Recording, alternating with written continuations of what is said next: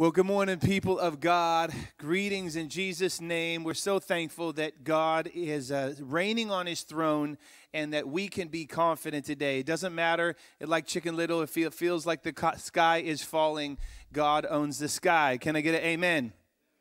He owns the sky. And um, I want to turn your attention today at uh, 1 Samuel 15 29, um, a reminder of the God that we're dealing with. Uh, 1 Samuel 15 29. And it says, um, as we open up for our time of worship before we begin to, um, to uh, respond to him in worship, um, it says, He who is the glory of Israel. Everybody say the glory of Israel. He who is the glory of Israel does not lie or change his mind, for he is not a human being that he should change his mind. This first song we're going to begin with is that God is a man of his word and, um, and a God of His Word. He's the one who sets the standard. And in, a culture where uh, anybody can kind of say anything, or uh, let me vent, get this off my chest, or post this, or tweet this, God, He is not like man that He should change His mind. So we are going towards and, and responding and worshiping a God today that we can take at His Word. Amen? He doesn't say things and then He's like, oh, never mind that.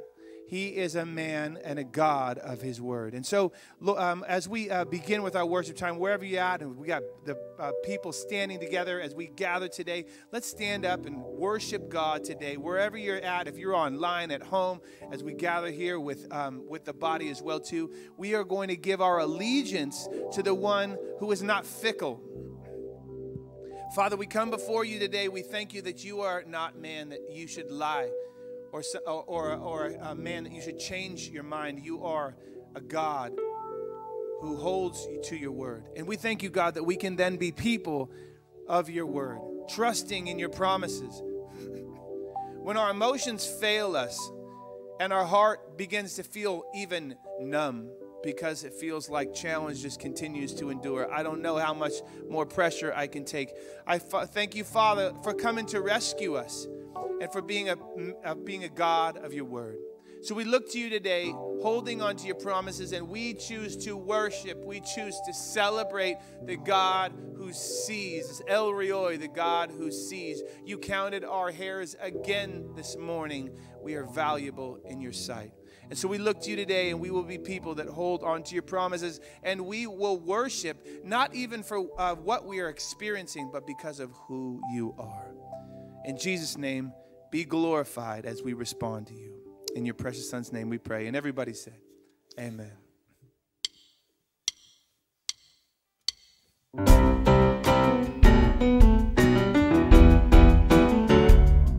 might have to put your hands together this morning.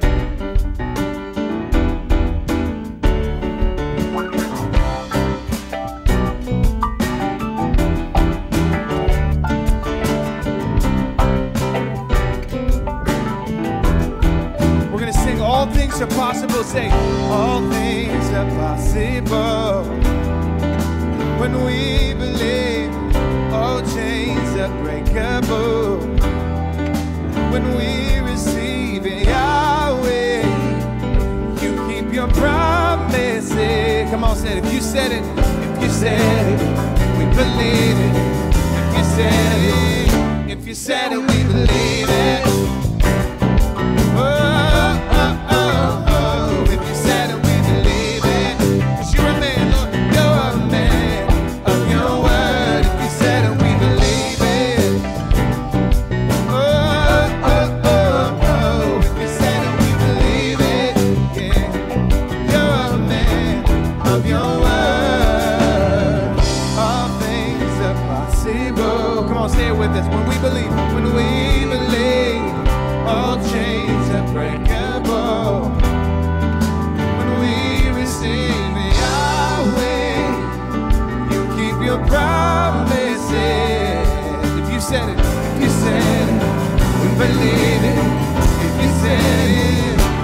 said it, we believe it.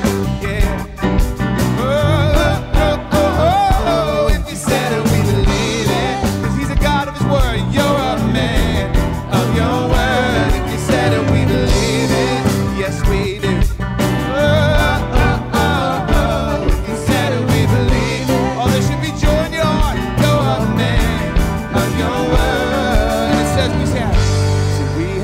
Confidence, you'll finish finish what you started. God, you have never failed, and you won't start with me. Present in every step, patient in every heartache. God, you will never, come on, you will not, you won't start with. We have this confidence, we have this confidence. You'll finish what you started.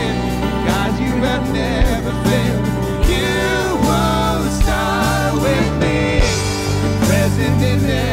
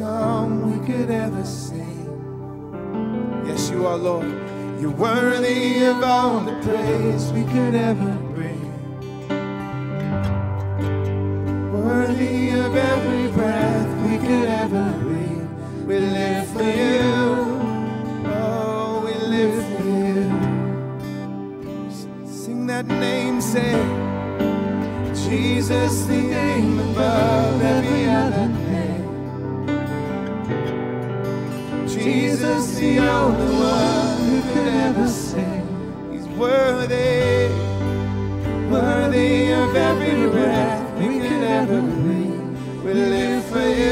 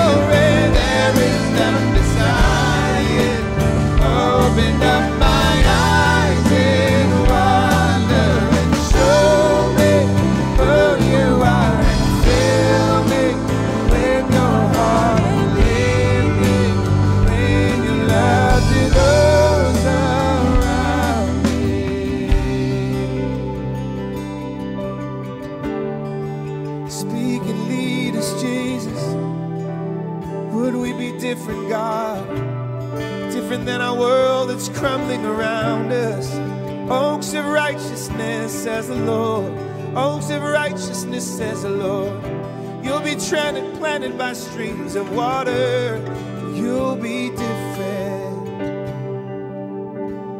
He wants us to be different, invite us to us to be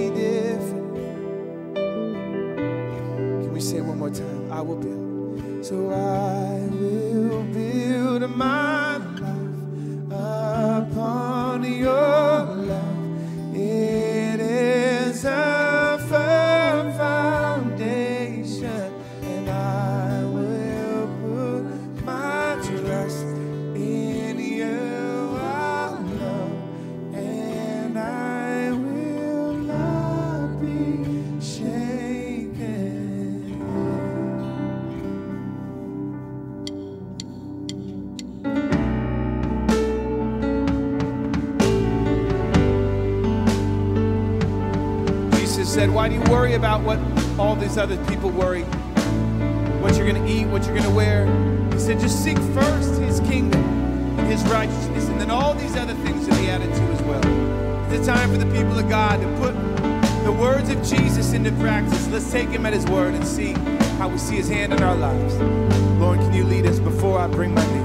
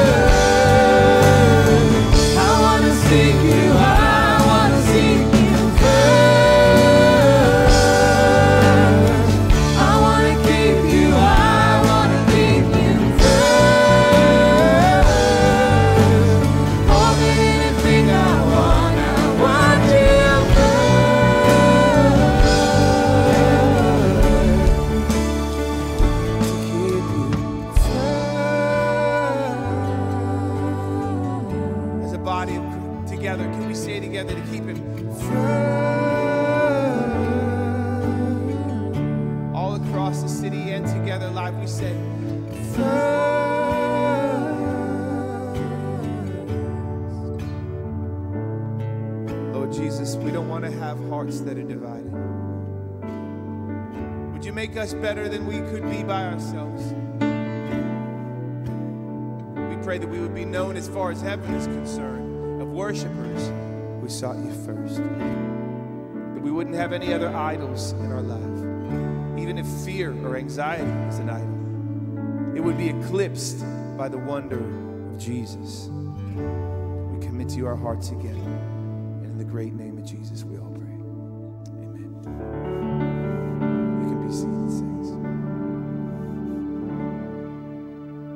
Good morning and welcome here. It is a beautiful day that the Lord has given us, and it is so great that we can come together as a church community and worship and praise together. So, thank you for being a part of this, whether you're online or here in person. Uh, it's good to be together and uh, to be worshiping like this. If you go online, you can find the connection card there. This used to be this handy little card that we would have in person. We've gone to just the online connection card. You can uh, put information there about how the church, elders, and staff can be praying for you, holding you up, praising alongside you, uh, wherever you're at. If you have not been receiving information from, from the church, uh, just regular communication, you can also use that uh, to update and find ways the church can connect you, whether it be a physical address or an email address, uh, to keep that moving on. You can also use that for God sightings. Where is God moving in your life? Uh, there are times right now where people are really down, really sad, but also times where we can see that the Lord is moving in a great way. So let's share those and encourage others in all that we have going on with us. So use that connection card just for the simple things, but also for the great things that are happening. And while you're online, you can also use the giving, give now portion of that to keep supporting this church financially. And if you are in person, there are offering boxes in the back of the buildings, but also during outdoor services right there. So there's plenty available online to take advantage of. If you are interested in an indoor service, we have an 8:30 indoor service here at Maple, but also at 10:30 at the Palm site. So we have two different indoor services at two different times, and also the outdoor service at Maple at 10:30. So there will always be uh, the online version, so we have a lot of options for you of how you can be a part of this and communicate and worship with what's happening our outdoor Sunday night live services will begin again next Sunday. So, the 28th, you can expect to be a part of an outdoor Sunday evening, Sunday night live service uh, to do that. Tonight, there will be a unique service of open prayer. So, Kent and Ron will be leading that. If you'd like to be a part of an open prayer time, that's from 6 o'clock to 7.15 at the Maple site, uh, outdoor under the tent. Uh, and if that's not enough of all that's going on around here, we also have uh, the Marriage Works uh, ministry is starting up this Tuesday night. If you'd like to be a part of that six week communication study, you can uh, sign up for that. There's still room. Men in Action starts on the 1st, that's next week. So if you are interested uh, in Men in Action, maybe you want to do it for the first time or bring a buddy and do it a second time, that's beginning. And also next week, Financial Peace University begins. So in the midst of uh, the uncertainty, we still have some strong ministries that you can be a part of. But we'd love to see you be a part of that. Wherever God moves you and puts you in, take advantage of the time with other believers, with other humans, uh, and interacting with them whenever possible. So thank you for being here. Thank you for joining us. And uh, with that, I'd like to spend some time just giving this time back to the Lord. If you'd bow your heads with me. Heavenly Father, thank you. Thank you for your grace. Thank you for your mercy that we can look to you as being first uh, knowing that we can humbly come behind you and that you are guiding us and you are leading us. I thank you that uh, as I come before you empty handed, as we come before you empty handed, you fill us uh, so that we can be poured out in service for you. Help us to always remember that you are our guide, that you are our strength, and you are the one who provides. We give you this day and all this before us, Lord. Amen. Amen. It's a beautiful new song reminding our soul. Sometimes we, uh, we need God to awake us. The psalmist would often say, um, Bless the Lord, O my soul. It's interesting. He wasn't schizophrenic, but um, he wasn't. Uh, but sometimes you have to remind yourself, "Come on, hey, hey, hey, wake up!" Everybody, ha- anybody had those moments when you're feeling like, "I just, I need to push myself to get in the right position because my emotions aren't feeling it." Right? There's something beautiful about um, saying, "Bless the Lord, O my soul." I want you all to say that together. Say, "Bless the Lord, O my soul." Bless the Lord, O my soul. And the Bible says, and all that is within me, bless his holy name. This is awake my soul. And we pray God would continue to wake us in these important days.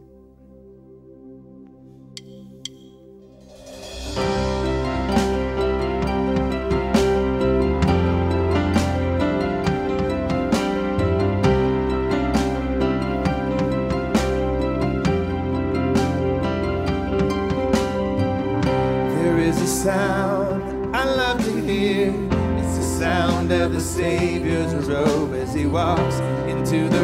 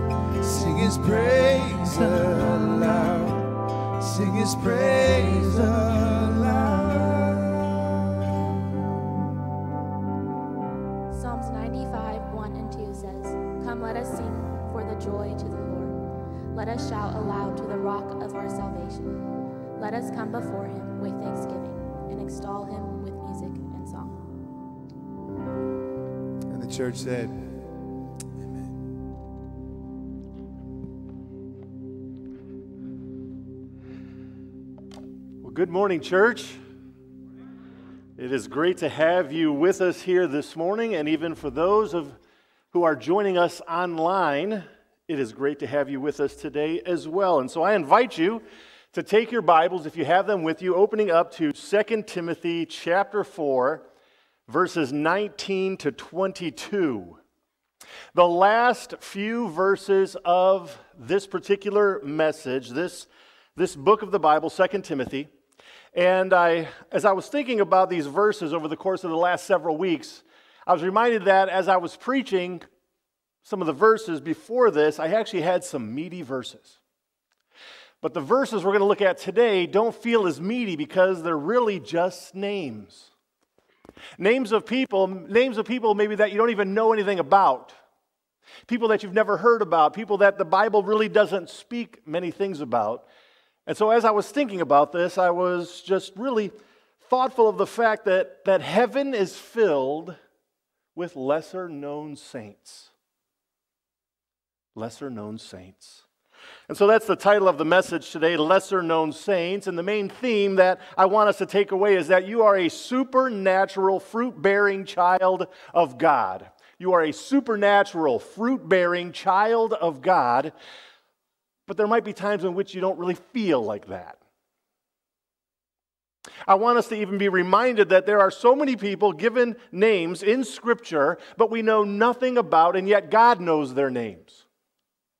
God is reminded of them. God knows them. He knows everything that they have done. And one thing that also I want us to take away from this message today is that even though there are many names that are written down in the Bible, what matters most is whether or not your name is written down in the Lamb's book of life. And that's where we're going with this message. There are lots of lesser known saints here in this world. And I'm reminded of somebody, even that's very familiar to our family. We refer to her as Nai Nai. Not a relative of our family, just someone that we actually know very well. She was born in a different country, a country that really is not a, a popular country. And she is a single woman. She was saved as an adult, and she was really just convicted about what she would do with her life she decided to go to China and start opening up orphanages. She had never been to China before. She didn't speak Chinese. She didn't know anybody. She didn't have any money.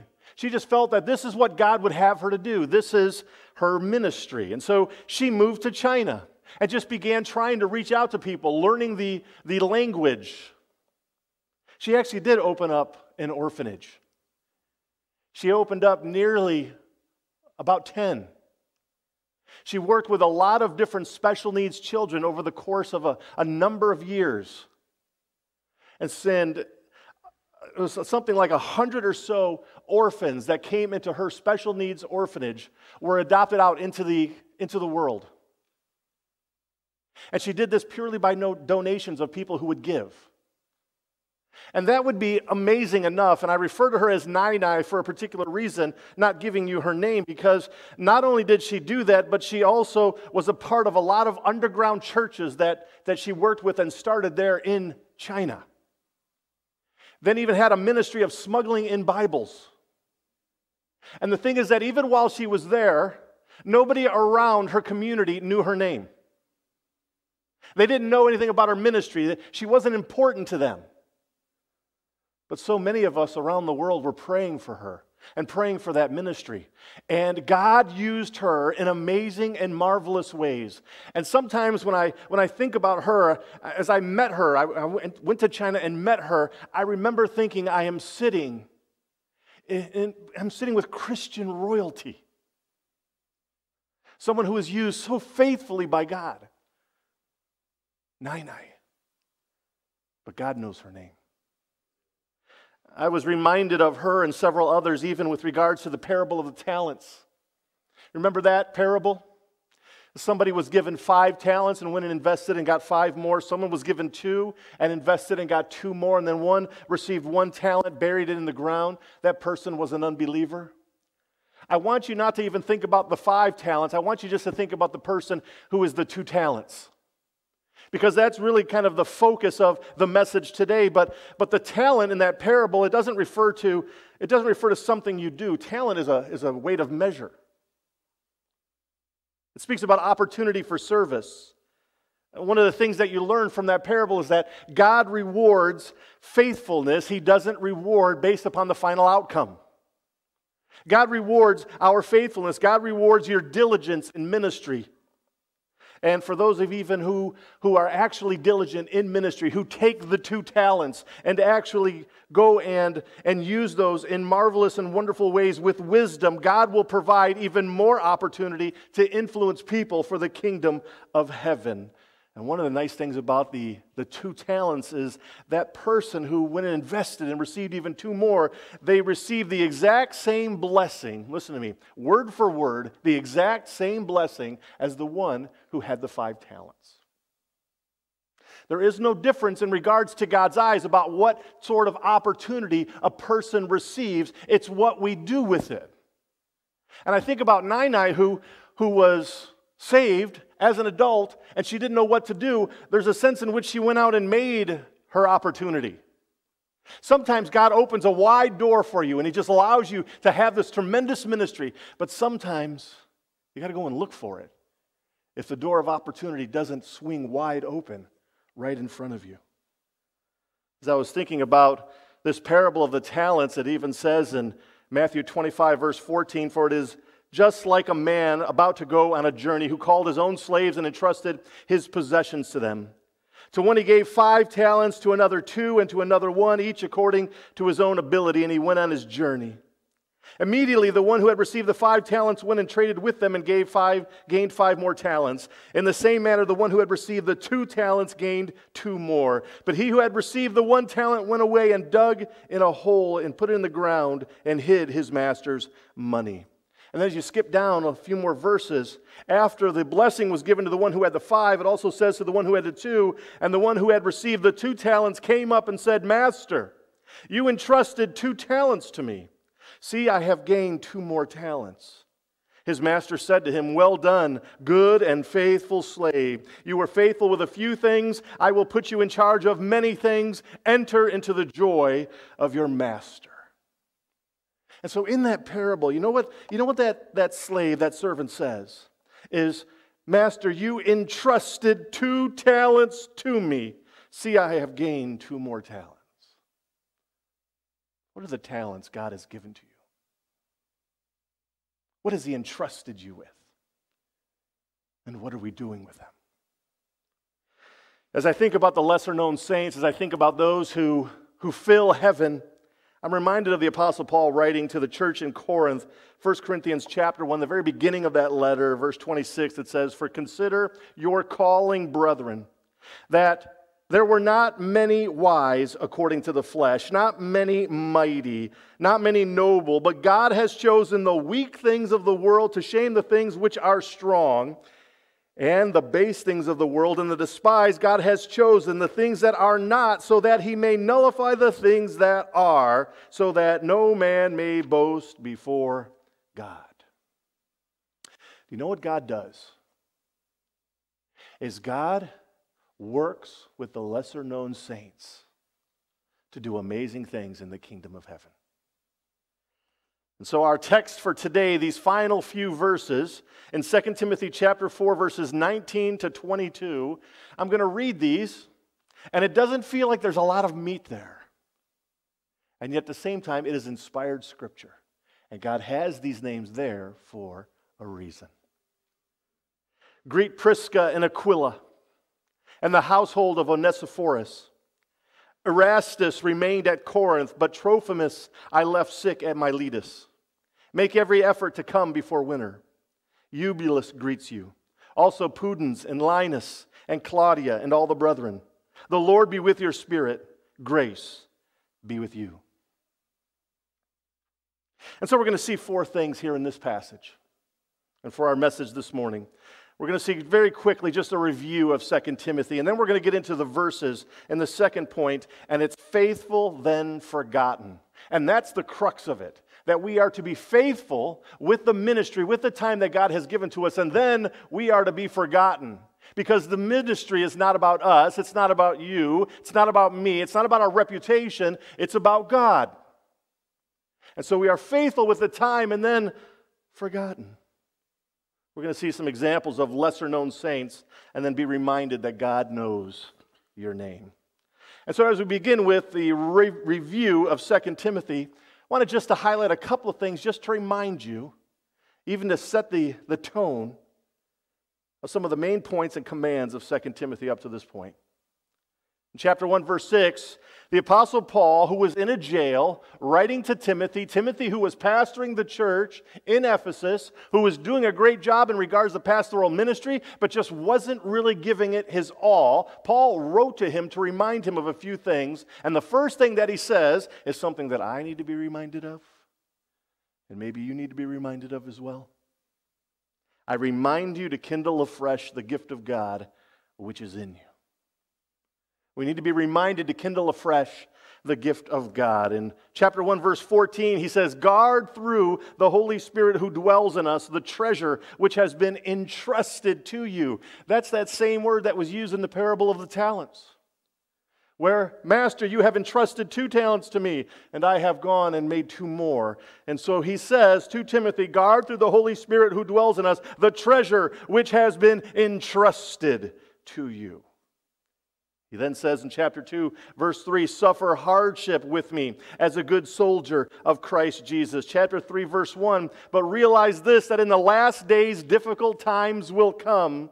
In chapter 3, verse 12, indeed, all, all who desire to live godly in Christ Jesus will be persecuted. As he begins to conclude the book in chapter 4, verse 5, he tells Timothy, But you be sober in all things, endure hardship, do the work of an evangelist, and then here it is fulfill your ministry. And then one last one in chapter 4, verse 7. I have fought the good fight. I have finished the course. I have kept the faith. And as I'm thinking about 2 Timothy, there are a few takeaways that I gather from this book. The first one is that ministry is difficult and challenging and excited. Exciting. Ministry is difficult, challenging, and exciting. But most people don't think about it that way. Most people, uh, like me, even at times, oh, it's, it's Monday. And you got to start and do it again. Life is like that, but life is ministry. It is difficult. It is challenging. It is exciting. The second thing is that we are all called to ministry and to serve those who are around us. The third is that Scripture is our greatest tool and our most blessed weapon. It's not as though God simply said to you, Go and get involved in ministry, and I hope you get it figured out. Go and, and use your own strength, use your own ingenuity. No, He gives you the Word of God. He gives you the greatest and most blessed weapon that we have which to fulfill the ministry that God has given to us. And the fourth, God rewards his people based on diligence and obedience, not on the outcome, not on the result, because the result is his. He rewards based on diligence and obedience. The fifth one is that the world may be against you, but God is what? God is for you. Six, never give up. Never give up. There is always more to be done. And so, with that as an introduction, as we dive into these, these names given to us in verses 19 through 22, we come to this point faithful, then forgotten. Uh, there have been times in which I've been speaking at different churches over the course of years, and I will ask people, for example, to think about if you knew, if you know your great grandfather. Do you know the name of your great grandfather? Do you know the name of your great great great grandmother? You don't even many times know the name of our ancestors just a few generations removed, let alone we've never met them. Very often, even in our, our own ancestral tree, we forget them. They are forgotten. But God knows all things and even in the ancestral tree of Christianity. There are many people, many saints who have gone before us. Many people, many saints who have ministered and served in this church over the course of the last 50 years that I will never know, that I have never met, maybe that even have passed on since I have come, and yet God used them in amazing ways. Faithful, then forgotten. But God remembers. This last week, a few pastors and, and a staff member, we went to the Fresno Rescue Mission as an opportunity in which to serve and to learn a little bit more about the ministry there. And so there was about six of us, and we went. And I have served in the Fresno Rescue Mission in the past. Wonderful ministry. They believe in, now they just call it Fresno Mission. But we got a chance to go through and tour the facilities. And we went back into one of the buildings where there were families who were living there temporarily. And this passage has was just been on my mind for the last couple of weeks. And so I'm just thinking about the lesser known saints. And we went into this room where there was a few people who were just there serving these families. And they were just there at the, at the tables talking and laughing and, and trying to minister to them. And I thought, lesser known saint doing a ministry that nobody knows nothing about, nobody knows anything about. But God sees and God watches and God hears and He sees and He blesses. They took us to another building. They call it the academy. It's where a lot of the classes take place. And they had on the bulletin board a number of the classes that were there and the people who taught it. And I began scanning it because I had taught in that building about 50 different times. And I began scanning the names. There was about 40 of them, and I didn't know any of them. I thought, lesser known saints. We're the lesser known saints that God is using to bless and minister and serve other people. And God could be using you as well. So, the first one we're going to see here in verse 19 is Prisca and Aquila. Depending upon your translation or which translation you're reading from, yours might say Prisca or yours might say Priscilla. It would seem as though Prisca is kind of like um, an abbreviated name of Priscilla. This is a married couple, Prisca and Aquila. Prisca is in the feminine, Aquila is in the masculine. He is the, the husband. And this was a married couple that God used in tremendous ways. They were actually some people that, that served alongside the Apostle Paul at a lot of different points in his ministry. And Paul met this couple, this married couple in Corinth, on his second missionary journey.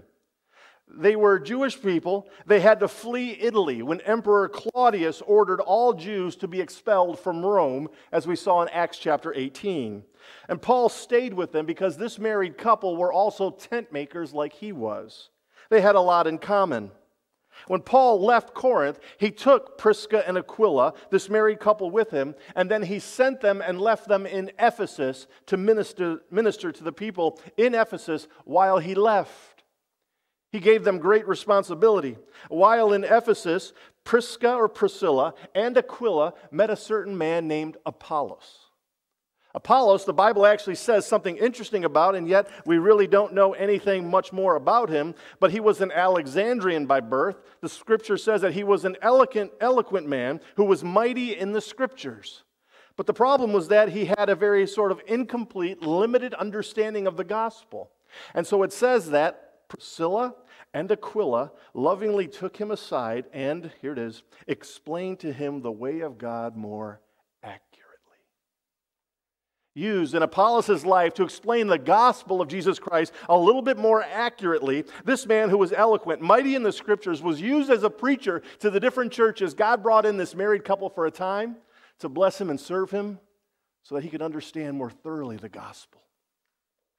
In Romans chapter 16, Paul, as he is writing, mentions these two people again. He says, Greet Prisca and Aquila my fellow workers in Christ Jesus, who for my life risked their own necks, to whom not only do I give thanks, but also all the churches of the Gentiles also greet the church that is in their house.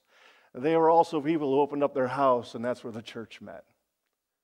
It's amazing how God can use the lesser known saints to bring him honor and glory. Here's another person, Onesiphorus. Try to say that fast five times. Onesiphorus. It actually refers to this man with another part, another phrase, the household of Onesiphorus. In fact, it's given to us two times in Scripture, and each time it refers to the household of Onesiphorus. And so it likely means that not only Onesiphorus was a believer, but everybody who was also in his house. That they served as a family for the glory of God and were involved in ministry. In 2 Timothy chapter 1, it says, The Lord grant mercy to the house of Onesiphorus, for he often refreshed me and was not ashamed of my chains. But when he was in Rome, he eagerly searched for me and found me. The Lord grant to him to find mercy from the Lord on that day. And you know very well what services he rendered at Ephesus. Faithful for a time, and yet mostly forgotten. The next person we come across is Erastus. Erastus. We don't know too much about Erastus except that he was a civil servant. It says in Romans 16, verse 23, it says, Erastus, the city treasurer, greets you. And that's it. Someone who served in civil government, who was also a believer, also praying for those who were serving. Erastus, the city treasurer, greets you. Another name we see here is Trophimus. Trophimus was a native of the province of Asia, specifically of the city of Ephesus, and he accompanied Paul from place to place, even from Greece to Troas. But if you remember a time in which the Apostle Paul was beaten up and the mob came and, and they arrested him? Well, it was because Paul was with Trophimus in the city. Trophimus was not a pure Jew, he was a Gentile, and they assumed that they had seen Trophimus with Paul in the temple, which would have been a no no. In fact, the Romans allowed that if anybody defiled the temple that they could be killed on the spot. And so this was a big thing they had misunderstood. It says in Acts chapter 21, verse 29, for they had previously seen Trophimus the Ephesian in the city with him, and they supposed that Paul had brought him into the temple. What is Trophimus mostly known for? Getting Paul incarcerated. And yet he was one who accompanied the Apostle Paul from place to place. Then we come across four different names Eubulus, Pudens, Linus, Claudia. These four we know absolutely nothing about. Their names aren't given to us anywhere else in Scripture. Eubulus, Pudens, Linus, Claudia. In fact, Claudia, a woman, a faithful, obviously, friend of the Apostle Paul's, church tradition tells us that, well, maybe she was the wife or the mother of Linus, one of those other names that are given to us, but that's pure speculation. She's likely just a woman who was serving along the, alongside the Apostle Paul, being used in a great way to encourage him in the ministry, just like all the others. The last name, if you will, that is given to us in this passage is all the brethren. All the brethren greet you. No specific names, just, just the people who are there in the church where he was at everyone else in the local church. Names aren't necessary. But they were the faithful ones who were eventually forgotten. And so that brings us then to the third point that I want to spend a little bit of time on the lesser known saints. Lesser known saints. I actually thought about titling the message The 30 Fold Christian. Remember the parable of the soils? Where some had a hundredfold, some 60, and some 30. The 30 fold Christians. Very often, the lesser known saints are those who are used by God for a time, and then very often we know nothing about. Remember a guy named Onesimus? If you read the book of Philemon, you'll know about Onesimus. He was a slave. He was a slave that grew up in Philemon's household. The church actually met in Philemon's house. So he was an unsaved slave, a servant, who was in Philemon's house where the church met, and he saw the church all the time. He saw the people. He didn't want to be a slave anymore. He ran away. He took some things. He ran away. He went to Rome. He finds the Apostle Paul. Paul begins speaking to him. He gets saved. He gets saved. And Paul knows he has to go back. He has to go back to talk to Philemon. He goes back to Philemon's house. He's got the scroll in his hand. And Paul says in verses 10 and 11 of Philemon, I, I appeal to you for my child Onesimus, whom I have begotten in my imprisonment, who formerly was useless to you, but now is useful both to you and to me. Onesimus, this former slave who Philemon set him free, he wasn't a Bible teacher. It doesn't say that he was an elder in any church. He wasn't a church planter. He was more of just a travel companion. Maybe even an, an errand runner, if you want to put it that way and yet used mightily by God. And it says, even in Colossians chapter 4, verse 9, when Paul is speaking about some of the other people, he says, And with him Onesimus, our faithful and beloved brother, who is one of your number. They will inform you about the whole situation here. So he became a messenger and used by God in amazing ways. How about a woman named Tabitha, also called Dorcas? By the way, if anybody's going to have a baby, a girl. Tabitha is a great name. I wouldn't suggest Dorcas. Kind of a strange name. But Tabitha was an amazing person. You know what she was? You know what her job was? Her ministry? She was a seamstress. A seamstress. She eventually died, and God decided to use Peter to raise her from the dead not a preacher, not a, not a church planter, not a missionary, not an elder, not a Bible teacher, not somebody with, with great resources and financial wealth, but a woman who was used for many deeds inside the local church. God brought her back. In Acts chapter 9, verses 36 to 41, it says this Now in Joppa there was a disciple named Tabitha, which translated in Greek is called Dorcas. The woman was abounding with deeds of kindness and charity, which she continually did. That's her ministry.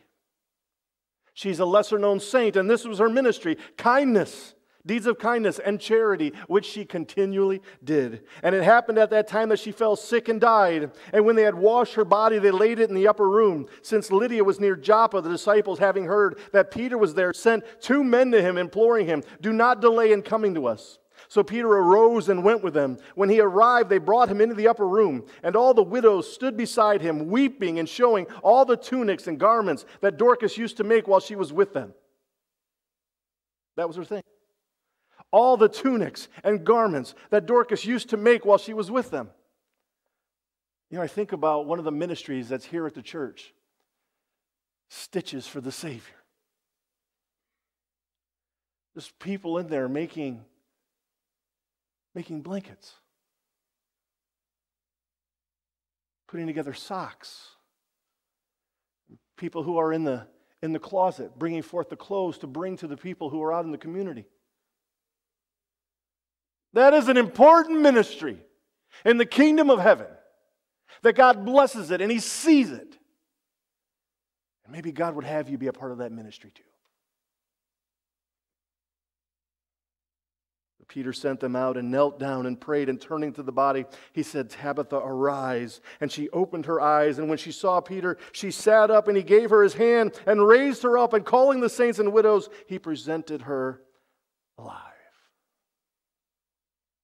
lesser known saints, faithful than forgotten. How about another one? Barsabbas. Not to be confused with Barabbas, who was let go instead of Jesus. This man's name was Barsabbas. And I bet if I was to ask most people around the church, who is Barsabbas, many probably wouldn't know. When Judas Iscariot committed suicide, one of the original 12 disciples, at the beginning of the book of Acts, they needed to replace him. And so they brought forth two people Matthias and Barsabbas. And Barsabbas wasn't chosen. He was a man who was qualified. They began to cast lots, but Matthias was chosen instead of Barsabbas. And we never hear of Barsabbas again. Oh, he was a faithful man. He was qualified. He was in ministry. He, he fulfilled the things that God had placed before him, but it wasn't God's will at that time for him. Acts chapter 1, verse 21 says, Therefore it is necessary that of the men who have accompanied us all the time that the Lord Jesus went in and out among us, beginning with the baptism of John until the day that he was taken up from us, one of these must become a witness with us of his resurrection. So they put forward two men, Joseph called Barsabbas, who was also called Justus, and Matthias. And they prayed and said, You, Lord, you know the hearts of all men. Show us which one of these two you have chosen to occupy this ministry and apostleship, from which Judas turned aside to go to his own place. And they drew lots for them. And the lot fell to Matthias, and he was added to the eleven apostles.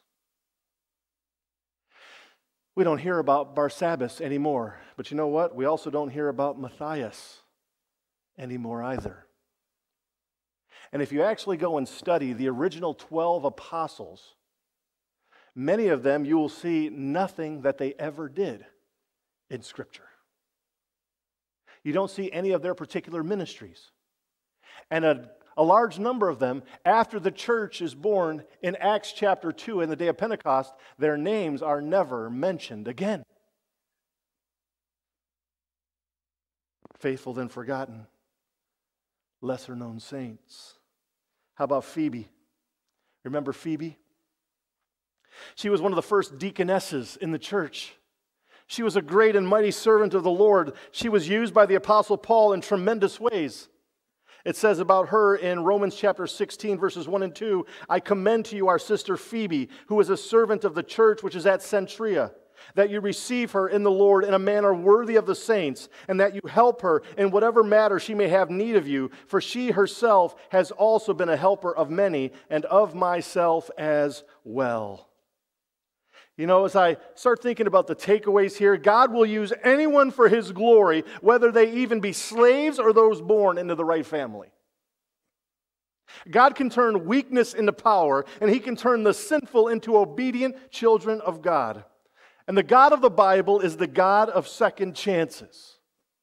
God sees you as useful, not useless. Faithfulness comes in all shapes, sizes, genders, and spiritual giftedness. And history may not remember your name, but God does. There was another that I wanted to take a look at, but we don't have time. His name is Mark, often referred to as John Mark. He was the one that God used to write the Gospel of Mark. And as a, as a late teenager, potentially early 20s, when Barnabas and the Apostle Paul were set apart to go out, they chose Mark as their assistant to go with them. But as soon as the ministry got difficult, he left them. And he was gone for years. What if he just gave up and allowed that to be his reputation forever? No, he persisted. And God gave him another chance. And so, as I bring this message close to the end. Our final point here is that God knows your name. God knows your name. There are lots of people's names written in the book, written in the Bible. I mean, you can go and read the book of Numbers to see that there's a lot of names written in the Bible. But you don't remember what they did. And God knows those who are His, the great and the small. Listen to me, the great and the small. God knows those who are His. And what matters is, isn't so much if, if their name was written in the Bible, it doesn't matter so much here. What matters is, is your name written in the Lamb's Book of Life? After all is said and done, there are, there are hundreds, if not thousands, of people whose names are written down in this book, and they are not in heaven right now. There were lots of enemies listed here. There were lots of people who thought that they were of God's family, but were not. What matters is your name written down in the Lamb's book of life. In fact, it's so important, it's actually spoken of a number of times in Scripture. In Philippians chapter 4, verse 3, it says that the Apostle Paul is talking about some women who have shared in his struggle in the cause of the gospel, together with Clement also, and the rest of my fellow workers whose names are in the book of life. In the book of Revelation, chapter 3, verse 5, it says, Whoever overcomes will thus be clothed in white garments, and I will not erase his name from the book of life, and I will confess his name before my Father and before his angels. In Revelation chapter 20, verse 12, it says, And I saw the dead, the great and the small, standing before the throne, and the books were opened. The great and the small standing before the throne, and books were opened, and another book was opened, which is the book of life. Finally, in Revelation chapter 21, verse 27, And speaking about heaven and those that will actually come into it. It says, And nothing unclean, and no one who practices abomination and lying shall ever come into it, but only those whose names are written in the Lamb's book of life. And so the question then is Is your name written in the Lamb's book of life?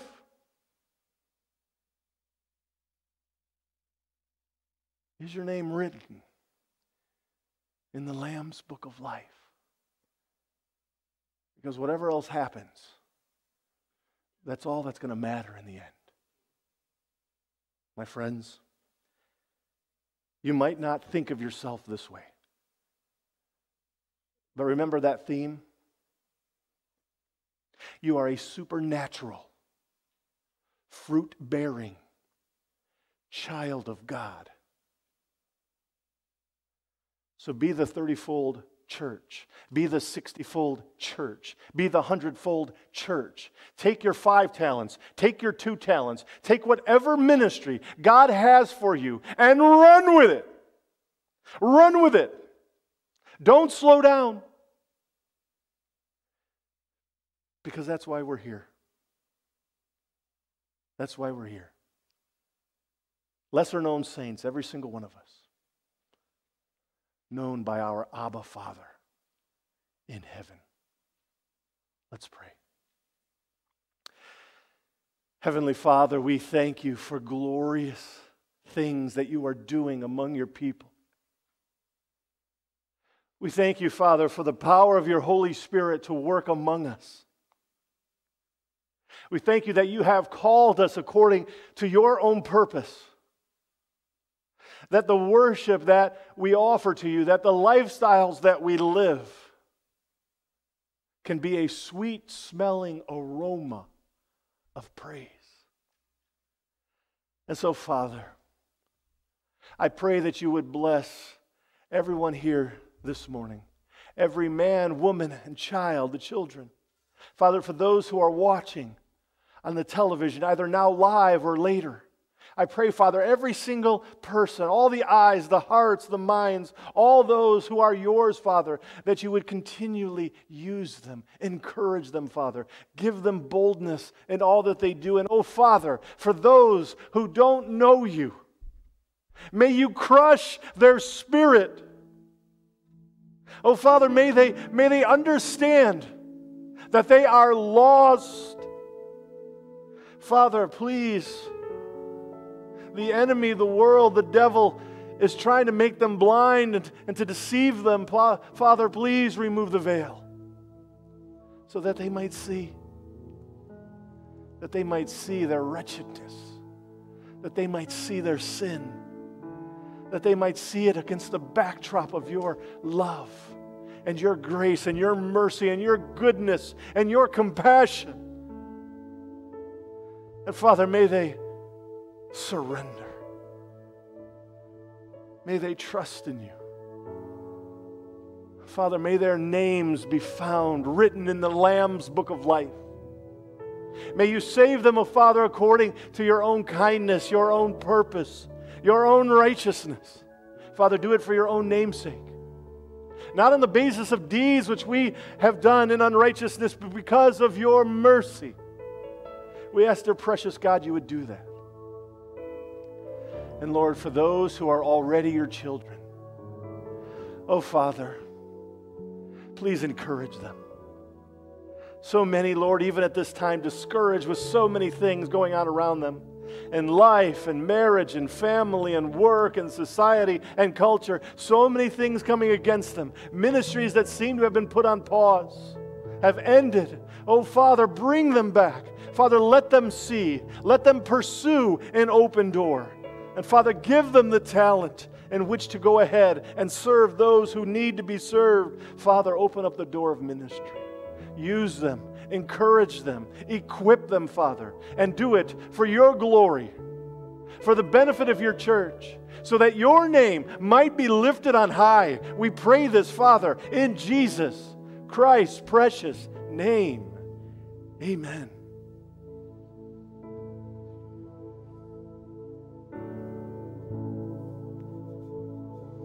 we sing about our pardon, our invitation to this wonderful salvation. I cast my mind to Calvary, where Jesus bled and died for me. Come on, say it out, say it. I see his wounds, his hands and feet, my Savior that cursed tree. Wherever you are, let's stand up together and say, His body bound. His body bound and drenched in tears. They laid him down in Joseph's tomb. The entrance sealed by heavy stone. Messiah still and all alone. So we say together, say, Oh, praise the name of the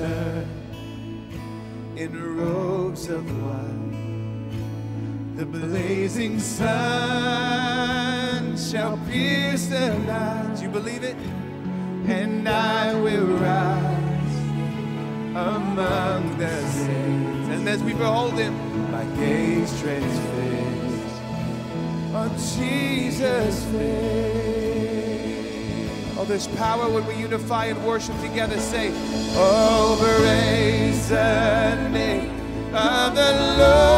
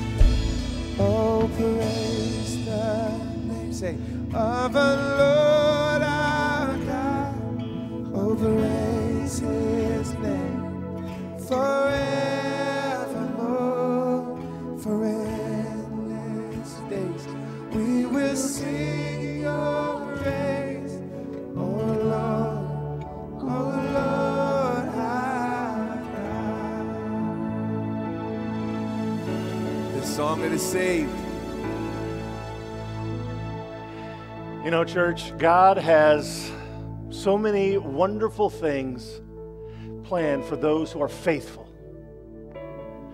Maybe not wonderful based upon your definition or mine, but according to His. Beautiful, wonderful, marvelous things in ministry where God uses you to bless those who are around you. And you might not even see the fruit of it while you're here, but God is keeping track. He sees it all. And God has a plan for you. Plans for you to be a supernatural, fruit bearing child of God. That is His plan. Every single person's plan might be different, but that's His plan for you. A supernatural, fruit bearing child of God. How would God have you fulfill that? What would God have you do? Who does God want you to serve? Our prayer is that you would find that person or those people and that you would minister to them. And throughout this week, be thinking about that. How God might utilize you and use you to be a blessing to others. My friends, that is what our purpose is here. Would you pray with me? Heavenly Father, thank you for your glory and your goodness. Thank you for your people and your church. Thank you that you are worthy to receive our praise. We love you and praise you and thank you in Jesus' name. And all God's people said, Amen. You're dismissed as we continue to worship.